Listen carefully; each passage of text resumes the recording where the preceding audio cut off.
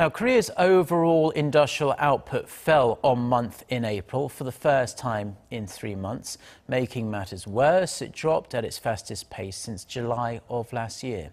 Shin Se-min with the details. Statistics Korea says the nation's industrial output went down 0.8% in April from the month before, logging the fastest pace of decline in nine months. It comes as overall output had been showing signs of a pickup in February and March after it dropped in January.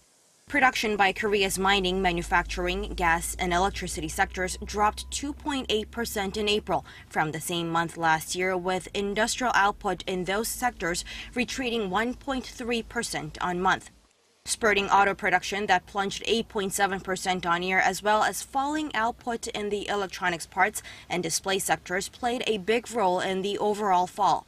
Statistics Korea says a jump in production in the semiconductor and petroleum industries worked to offset what would have otherwise been a much bigger decline. But it's not all doom and gloom. Domestic consumption expanded last month, increasing 4.2% on the back of robust sales of durable and non-durable goods like automobiles and cosmetics. Domestic demand is good at this time, and the improved leading composite index indicates the economy will pick up smooth recovery momentum in the future.